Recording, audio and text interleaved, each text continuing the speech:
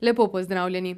Tokratni sprehod po poteh kulture začenjamo v Brežicah, kjer so v okviru praznovanj ob občinskem prazniku in hkrati 660-letnici mestnih pravic postavili fotografsko razstavo Vinka Šebreka. Vinko Šebrek je razstavo poimenoval Odkrivanja. Praktično ja celo življenje nekaj odkrivam, iščem in so me tiste fotografe, ki so lovci na motive oziroma načakam, nekaj iščem in to odkrivam in zato jih tako in pokažem. Del tega je bilo tudi odkrivanje Brežic. Praktično jaz snemam Brežice skozi, no, zdaj sem se odločil eno, zato ker delamo v ciklusi, avtorski ciklusi, in to dve, dve seriji, kot sem tu zdaj napovedal, to so metamorfoze vodovodnega stolpa, simbolov, da bi pokazal to spreminjanje oziroma moje doživetje skozi čas in kako jaz vidim Brežice skozi literaturo in tem, kaj je povedano o, samem Brežicah in o njegovem simbolu. A drugo je pa to drobovje, ko ga je Alenka dobro povedala v svojem tudi predstavljanju. Drobovje Brežic znači Brežice iza, kaj po navadi ljudje ne pogledajo, a to malo na drugi način ne bi pokazal tole, to, kako izgleda, nekako ga jaz doživljam. Avtor je za razstavo izbral pet sklopov, ki so jih postavili v izložbe ob glavni Brežiški ulici. Ko sem izvedel, da bom, sem povabljen, da, da bi razstavljal v Brežicah, in sem povedal, da bi naredil celo razstavo v Brežicah, potem sem videl, da ne bom utegnil v enem letu, da ne bi bilo preveč resno, čeprav je veliko motivov, zato sem se odločil pokazati nekaj drugo še na teh tri panoje iz mojega, iz mojih avtorskih ciklusov, to so ta, kaj je vezano za Berlin je ciklus potovanja, potem pa imam tele krajino in nazadnje, s katero se ukvarjam bolj s formo kot z vsebino, to je ultima forma. Za razstavo sta nastala dejansko dva sklopa, ki sta v bistvu nadaljevanje tistega, kar je on o Brežicah že razmišljal, namreč želel je pokazati tudi drugo plat Brežice, Brežic, Brežice Iza in pa malo spremeniti oziroma preobrniti nekako dojemanje vodovodnega stolpa, ki je eden izmed brežiških simbolov, to zagotovo se vsi zavedamo, ampak on je z računalniško obdelavo in svojim pogledom ga v bistvu preoblikoval.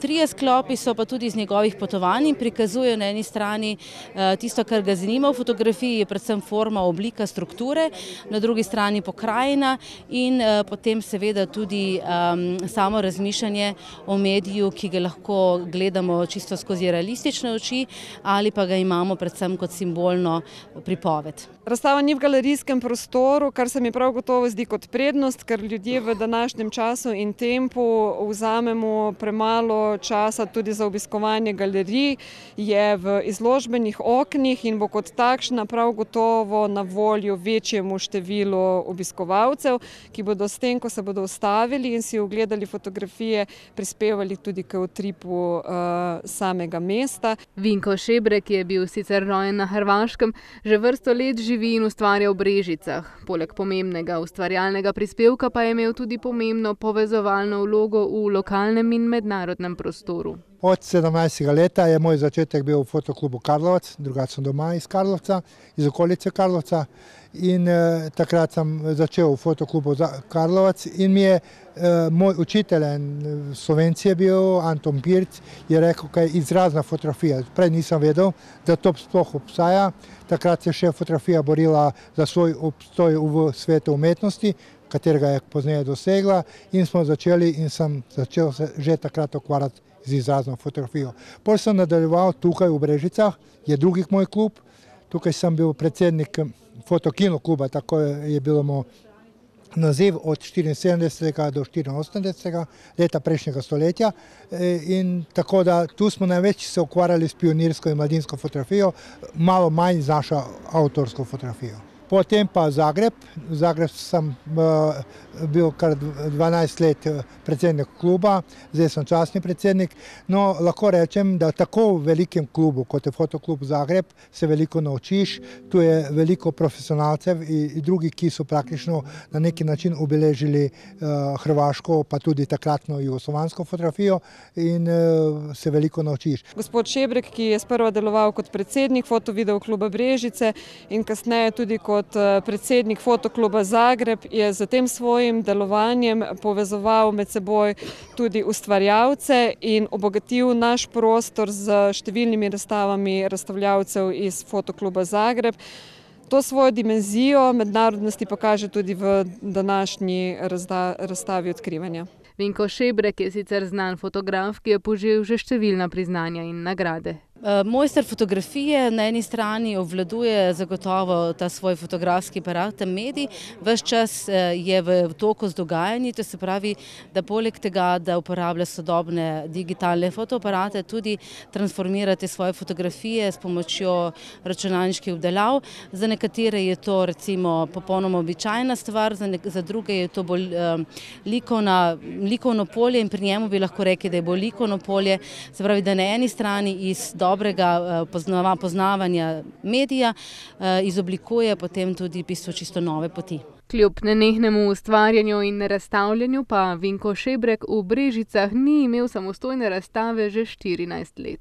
Nisem razstavljal zato, ker nisem, nisem razmišljal o tem, čeprav sem, uh, so bile moje slike razstavljene, sem podaril slike za bolnico Brežice in takrat so nekateri videli moje slike in so rekli, da kdaj bom in tako je prišlo do te ideje, da bi razstavljal.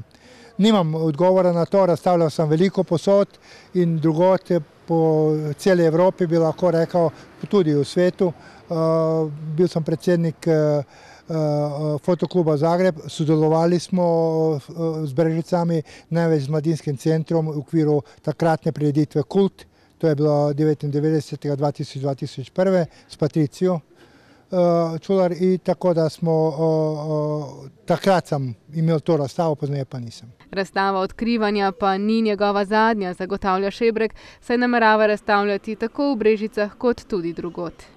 Ostajamo v Brežicah, kjer v galeriji Posavskega muzeja gostuje priložnostna arheološka razstava o najdišču nekdanjega rimskega mesta Neviodunum na bregovih reke Save z naslovom Neviodunum, rimsko mesto ob reki Savi.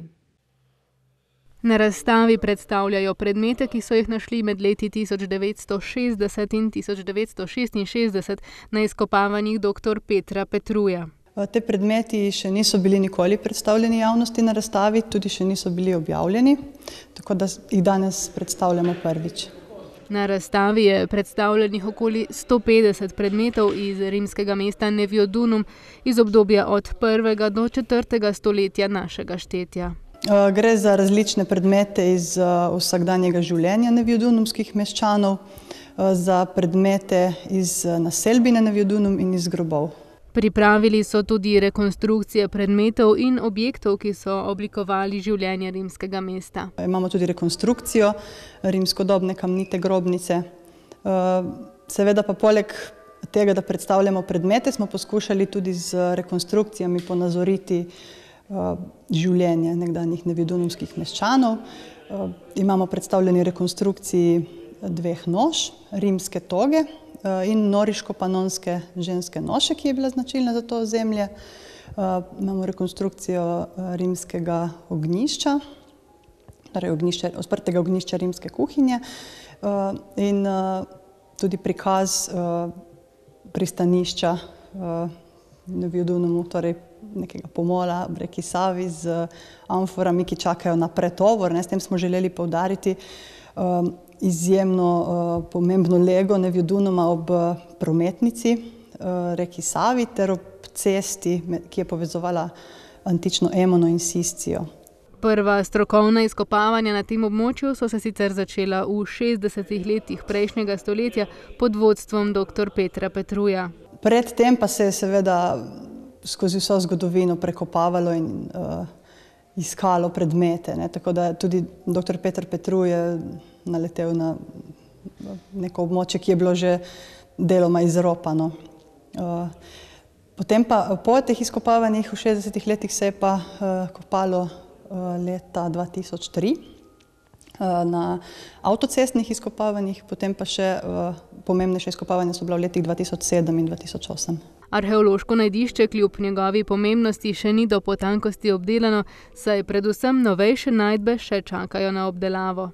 Ja, glavni vir je še vedno uh, objava, ki jo je dr. Eh, Petr Petru po izkopavanjih objavil. Nekaj novejših virov je tudi, ampak manjka pa neka celostna objava, no, ki bi zajemala tudi novejša dognanja in novejše predmete. Sicer pa Nevjodunum kljub propadu tudi v današnjem času še vedno na tak ali drugačen način pušča sledove v svojem okolju. Že to moram povdariti, da ne gre samo za kraj ali pa mesto, ki je pomembno samo za občino Krško, pač pa gre za posavsko mesto, ki je nekako vrača skozi to zgodovino tudi ali pa dokazuje, da je tudi v preteklosti bilo posavje neka enotna pokrajina, ki je bila tudi geografsko zelo pomembna.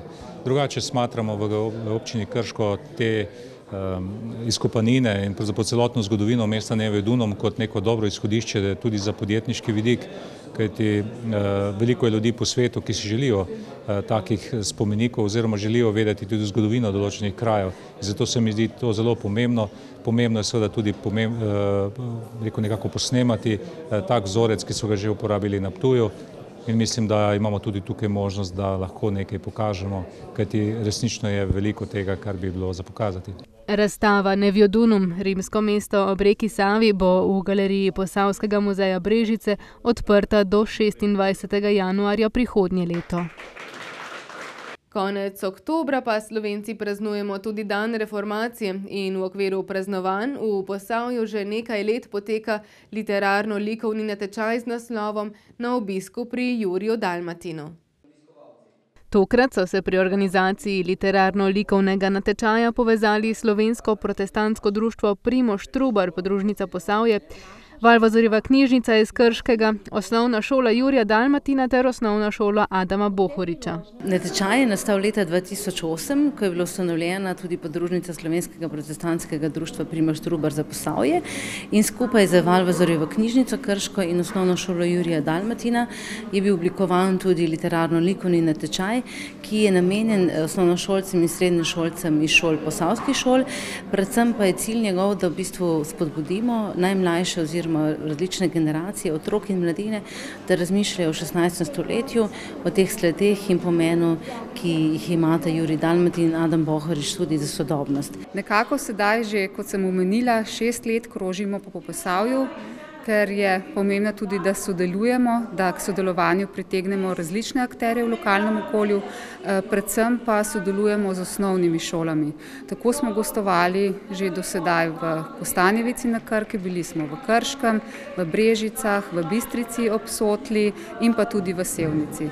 Letos smo tukaj v Brestanici. Na razstavi, ki so jo ob natečaju postavili v Osnovni šoli Adama Bohoriča, so tako razstavljena likovna dela in literarna razmišljanja mladih ustvarjalcev, ki so se na ta način povezali tako z reformacijo kot tudi z ustvarjalci tistega časa. Seveda, kot vemo, obravnavajo to obdobje v višjih razredih, ampak ravno zato, ker v tem lokalnem okolju deluje tako Mestni muzej Krško kot Valvazorjeva knjižnica Krško, dve šoli se imenujeta po teh slavnih možeh, imamo tudi podobe njihove v gaju zaslužnih občanov in pa tudi spominski park na Vidmu, tako da otroci presenetljivo nekatere stvari kar dobro poznajo.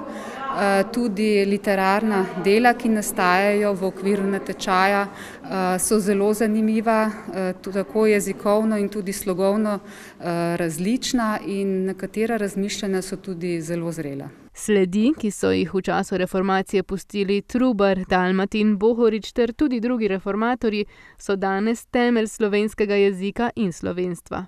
Čas reformacije je čas zgodnje slovenske etnogeneze. S Trubarjem, Dalmatinom, Bohoričem in ostalimi smo takrat dobili slovensko besedo tiskano, Trubar nas je pa celo prvi poimenoval za Slovence.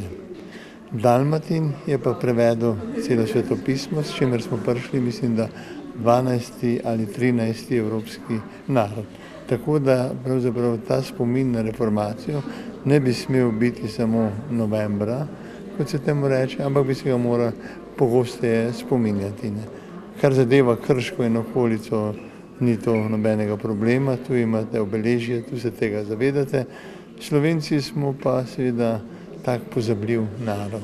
Jaz včasih pravim, da bi se morali Slovenci zavedati, da na plečih svojih dedov stojimo in pleča Trubarja, Dalmatina, Bohoriča so široka, močna in kaže na njih stati. Lahko v bistvu smo v Posavju zelo ponosni, da imamo ta dva prednika na nek način. Adama Bohoriča, ki je v Krškem vodil 12 let šolo in tu šolo vstopi tudi mladi Juri Dalmatin.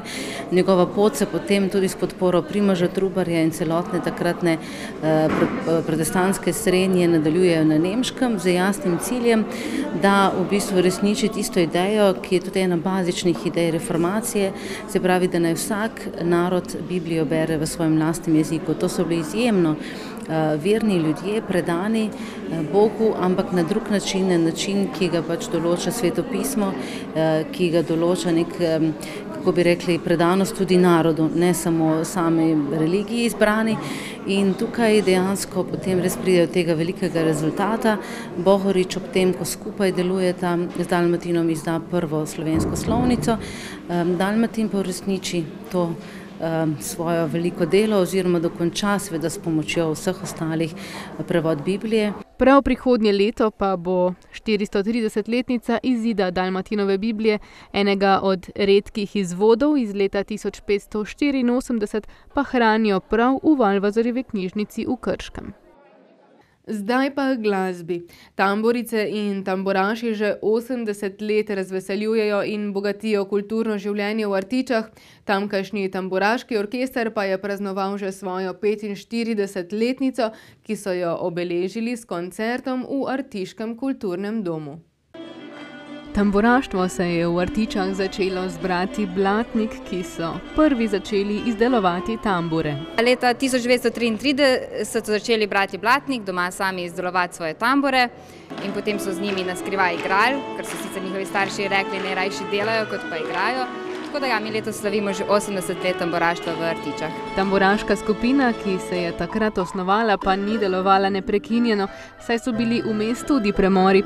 Do leta 1968, ko se je zgodila prva prelomnica. Leta 1968 so se pa zbrali še enkrat, tako da letos slavimo 45-letnico orkestra. In takrat so se najprej začeli tako pomagati folklorni skupini, potem je pa leta 1983 prišel Drago Križanič in je v bistvu ta orkester prerastel v tisti prav orkester. Ja, ta, takrat so se stvari pravzaprav spremenile in je od uh, folklornega ansambla taboraškega nastal taboraški orkester. Torej, izvajalsko telo, ki je bilo sposobno izvajati uh, literaturo, ki je v originalu pisala za taboraške orkestre in razno razne priredbe, ki so pisane za večje ansamble.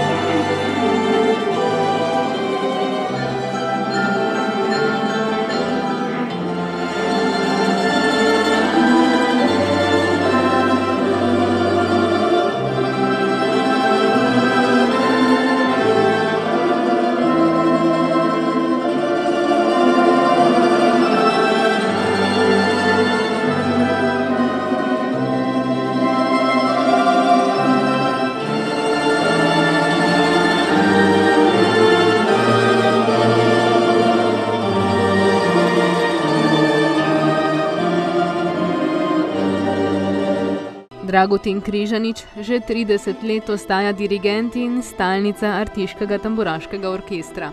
To je 30 let zadovoljstva, 30 let, let prijateljstva. Mi smo prijatelji, tudi s temi mladimi, s temi starimi. Oni žal že odhajajo, leta so tu, eh, bolezen pride, ljudje grejo, prihajajo novi. Ali nekje je eh, veliki Albert Einstein napisal, da vse tisto znanje, ki smo ga dobili od generacij, ki so živele pred nami, od naših detkov, babic, pradetkov, prababic, in vse tisto znanje, ki ga mi danes imamo, je stvar, ki jo moramo prvo spoznati, naučiti se spoštovati in potem prenašati dopolnjeno, oplemeniteno, prenašati na generacije, ki prihajajo za nami. In to je to. To je to, to mi delamo. Nekatere stvari spreminjamo, ker so časi drugačni. Ali vzgajamo mlade ljudi, da bi se naučili imeti radi svoje. To je osnova. Če se tega ne naučiš, ne moreš razumeti ljubezen svojega soseda do svojega. A če se to eni in drugi naučijo, to je izredna, bom rekel, tako kot politiki reče, platforma za eh, neke normalne medčloveške odnose. Članica ansambla pa je zadnjih 30 let tudi Elizabeta Križanič. Torej, 30 let lepih doživeti, lepega druženja, zaigranih nešteto in zapetih nešteto pesmi, skratka ena, ena ljubezen do tamburice in glasbe nasploh.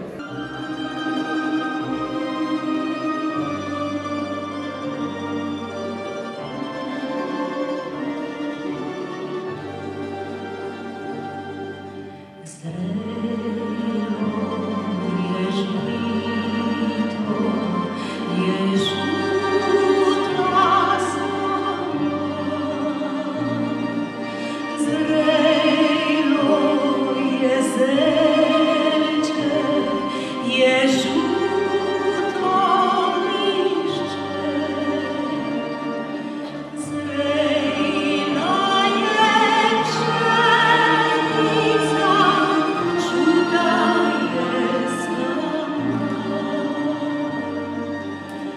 teh letih delovanja ima tamburaški orkester za sabo že lepo število skladb. V tem času smo igrali eh, veliko skladb eh, ljudskih, eh, priredbe ljudskih skladb. Veliko tempra, eh, eh, literature smo odigrali slovenskih avtorjev, pisane originalov za tamburaški orkester, ker je Eh, znano je, da je veliko znanih slovenskih skladateljev eh, od, eh, od Grebninga, od Vodopivca, Adamića in tako naprej pisalo zahtevne partiture za taboraške orkestre in mi smo delali na tem, da so te partiture stare ponovno oživele, in smo jih postavili na, na oder večkrat. V njihovem repertoarju se najde vse od zabavne do klasične narodno-zabavne, filmske in druge glasbe. Pester glasbeni izbor so predstavili tudi na koncertu ob 45-letnici delovanja orkestra in 80-letnici tamburaštva v kraju. Nocoj pa bo en pisan program eh, eh, od eh, klasične literature, Ena moja skladba eh, bo izvedena, eh, neke zabavne glasbe, potem me veseli, da imamo eh, v gosteh taboraški ansambl iz Železne kaple, naše nove taboraške oziroma glasbene prijatelje s pevskim zborom iz Železne kaple, mi sodelujemo že 40 let, danes pa bomo začeli tudi z njihovim taboraškim orkestrom.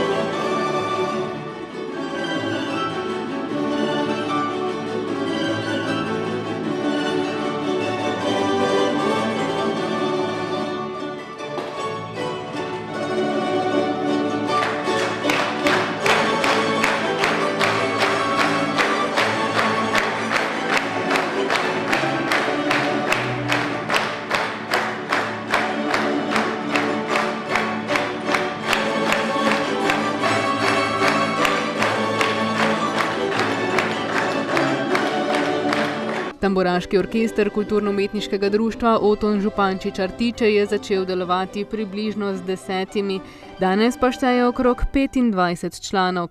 S pridobivanjem novih moči in podmladkom zaenkrat nimajo težav. Ne, ne, v Artičah je ta tradicija tamburaštva res močna, tako da težav z podmladkom nimamo nikoli. Vedno se najdejo, sicer včasih člani tudi odhajajo, imajo družine, ampak imamo vedno podmladek, tako da s tem res nimamo problemov.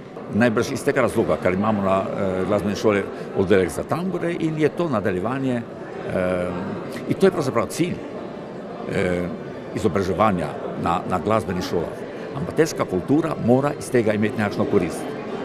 Malo jih je tisti, ki se začnejo ukvarjati s profesionalno eh, kulturo in postanejo profesionalni glasbeniki. Glasbene šole imajo nalogo, da izobražujejo mlade ljudi, da se na enem višjem nivoju ukvarjajo z amatersko kulturo. S tem tudi eh, eh, ljudje okrog te amaterske kulture živijo, kulturno živijo na nekem višjem nivoju. Zelo smo bogati, ker imamo zdaj tamburico v glasbeni šoli in zato smo dobili kar lepo število dobrih tamburašev. Žal nam bojo šli študirati, ampak upamo, da pridejo novi, tako da se ni bat za tamburaški orkester tiče. Artiški tamburaši nastopajo doma in v tujini, udeležujejo pa se tudi različnih tekmovanj in festivalov. Nastopamo pa povsod po Sloveniji, tudi izven meja, po Hrvaški, Avstriji, Nemčiji. Mi smo v teh zadnjih letih veliko krat tekmovali in na nivou Slovenije in izven Slovenije sodelovali smo veliko krat na tambora, festivalu tamburaške glasbe včasih Jugoslavije, pa Hrvaške in smo eh, prinašali eh, medalje razno razne, od bronastih, srebrnih, največ zlatih. Eh. Meni je to vedno bilo vprašljivo, tekmovati na področju amaterske glasbe. To je vedno vprašljivo. Eh, tu je premalo zadovoljnih na koncu tekmovanja. In to postane problem. E, če se s amatersko kulturo ukvarjaš, si zmagovalec. Končujemo pa na gledaliških odrih. Polna dvorana Senovskega doma 14. divizije je ob 90-letnici gledališke skupine DKD Svoboda Senovo pričakala premiero nove predstave komedije Dekliščina, ki je nastala v režiji Violete Tomič. Ustvarjalce Dekliščine smo obiskali le nekaj trenutkov pred premiero, ko je bilo pričakovanje tako igralcev kot tudi občinstva na vrhuncu. Ja, strastni, no, strastni. Prisotna je tudi malo treme, tisti en delček, katera je pozitivna trema, pravijo, no, vsaj tako pravijo. Glede na prejšnje predstave se je tudi ta trema rahla tudi pozitivno vedno odnesla. Upam, da bo tudi danes v bistvu da bomo zadovoljili občinstvo. Zagotovo predstava je nekoliko drugačnega žanra, kot smo jih igrali do sedaj, kljub temu, da je komedija. So, ker je angleška komedija, je verjetno tudi dosti tega angleškega črnega humorja, tako da dejansko to se mogoče občuti, da, da so določene določene šale ali pa heci so malo različni, no, kot so bili do sedaj. Ker smo imeli včeraj generalko, pa je kar dobro izpadla, niti ne. Včasih se bo kaj zgodilo, recimo kaj nepredvidenega, ampak mislim, da ne, da so vsi v redu, da so včeraj že tisto glavno nervozo dali skozi. Predvsem težko je igrati pred domačim občinstvom, sploh pa s tako žvečljivo predstavo, ampak odziv je bil res fantastičen, in ko smo videli po prvih, ne vem, po prvih sceni, da je, da, da nas sprejemajo, da je pozitiven odziv, je tudi nam dalo še večji zalet in smo resnično dobro odigrali do konca, tako da smo bili mi zadovoljni, mislim pa, da tudi publika. Komedija je namenjena publiki starejši od petnajst let, saj njena provokativna vsebina pogosto izpostavi človeško telo kot predmet občudovanja ali le izkoriščanja. Za neprofesionalne igralce senovske gledališke skupine je bil to poseben izziv, še posebej za moški del, saj so se morali za svoje vloge naučiti kar nekaj plesov. Vloga je zelo zanimiva, je zelo dinamična. Všeč mi je, da smo noter vkomponirali ogromno plesov, ker smo imeli tudi strokovnjaka, koreografa Sebastjana Stariča, ki nas je v bistvu popeljal čez, čez te plese. Tako da res, da take vloge še nisem imel, ampak moram reči, izziv dodaten in ta dinamičnost je pa doprinesla, da je, da je, da je vloga zelo zanimiva. Ja, fajn. Fanti se dobro razumemo, to je luštno delo, čeprav sem jaz najstarejši tukaj, ne. Sem kar dosti starejši od njih, ampak se dobro razumemo in zelo lepo je delati. Pa vsak ples ima svoje težke elemente, no, tako da ni noben pa specifičen, da bi bil pretežek pa prelahko, prelahki, no, tako da Vsi so zanimivi, vsak po svoje. Poseben izziv je bila predstava tudi za ženski del zasedbe. Ja, bi rekla, da je kar precej žgečkljiva komedija. Na začetku moram reči, da mi je bilo kar precej težko, no, še same tiste besede, ki smo šli prvič čez tekst, sem precej težko izgovarjala, ampak pol pa izvaje, uvajo lažje, bolj smo se sprostili. Tudi gospa Violeta je nekako poskrbela za to, da smo šli čez sebe, prestopili vse zidove, jih preplezali in poskušali čim bolj uprizoriti svoje vloge. Um, ja, Violeta mi je dodelila vlogo Jane, uh, nosečnice, ki se naslednji dan pač poroči. Uh, vloga je zanimiva, mogoče so dobrodošle izkušnje, ki sem jih sama imela z dvema otrokoma, ki jih imam. Um, ja, zanimiva vloga, zelo zanimiva. Na predstavo Dekliščina so se v gledališki skupini DKD Svoboda se novo pripravljali skoraj leto dni, zato si želijo, da bi predstavo večkrat uprizorili. Ja, nekaj imamo že napeljano, tako da mislim, da se bo že uresničil. E, Malo smo računali, če bi slučajno bilo zelo veliko popraševanje, da bi mogoče še v nedeljo naredili predstavo, to bomo videli glede na situacijo. Ja, sigurno. E, cilj e, vsakega e, amaterskega gledališča je, da v bistvu predstavo, ki naša predstava je nastala skoraj leto dni, e, v bistvu intenzivne vaje smo imeli več kot tri mesece, e, tako da dejansko tuk truda, tuk časa, tuk odrekanja e, ne, ne, bi, ne bi si želeli, da je to samo za dve predstavi. Če, če bo možnost, zagotovo bomo gostovali še kje druge. Mislim, da v bistvu vodja predstave nam je že predstavila ene, tri, štiri možnosti, da se že zanimajo. Uh, tako da menim, da bomo v bistvu še imeli zagotovo kako predstavo letos, pa verjetno kako naslednjo leto. Spoštovani gledalci, drage gledalke, spremljali ste oddajo po poteh kulture. Že prihodnji teden pa vas vabimo k ogledu oddaje od tu in tam. No, do takrat pa hvala za pozornost in nasvidenje.